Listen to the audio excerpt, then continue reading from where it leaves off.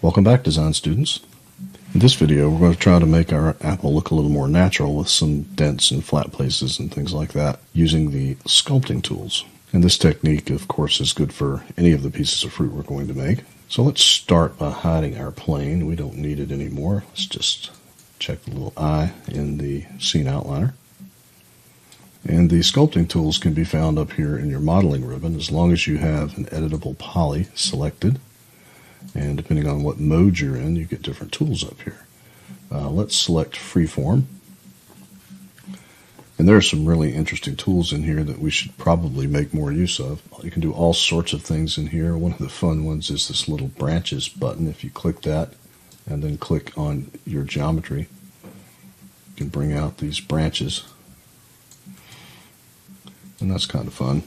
Good for making trees and tentacles and things. What we're interested in right now is the push-pull brush. So let's go ahead and click that, and this will allow us to push out parts of our geometry. See, I just made some sort of lumps in the geometry there. And if you hold down shift, it will push it in. Now I'm going to smooth this apple shape when I'm done. So what I'm going to do here is um, scroll down in my editable poly settings here and find use NURBS subdivision. And when I do, that actually smooths it for me.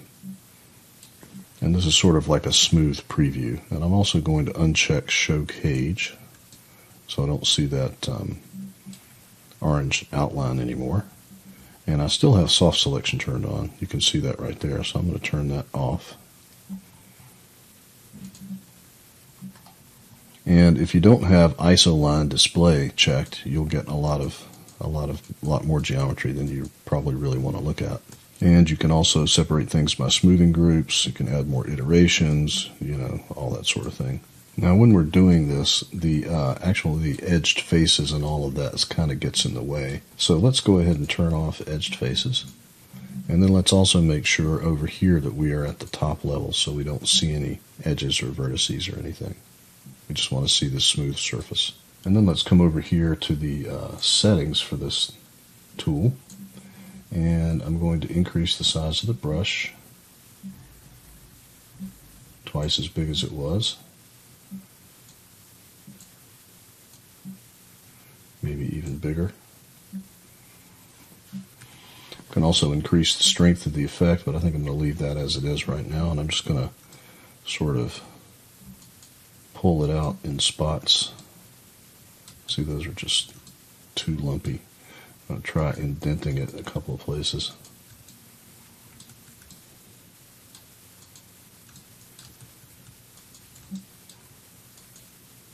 And I'm just barely clicking the apple here. I don't want it to look too bad. And if you get something you don't like, just undo it. I think I'm going to need the brush to be much larger. Even something like 80 maybe. Yeah, that's more like it.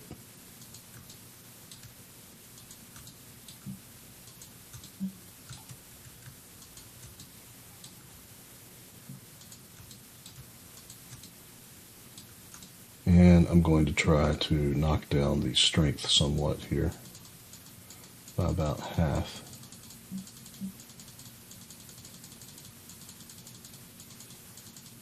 Yeah, that's much better. So just go around and maybe make a couple flat places and a, you know, a couple of lumps. And you don't want to click a lot. You don't want to hold your mouse down much. You just want to just sort of click because watch what happens if you hold it down a lot. It just goes in more and more and more. And you don't want it to look rotten. You just want it to look natural. And I think that's probably good enough. Now all we were trying to do here is just add a little more of a natural look, more randomness to this uh, apple. So I'm going to go ahead and close this tool. This is the isoline display settings right here. And when we come back in the next video, we're going to create the stem for our apple. And I'll see you then.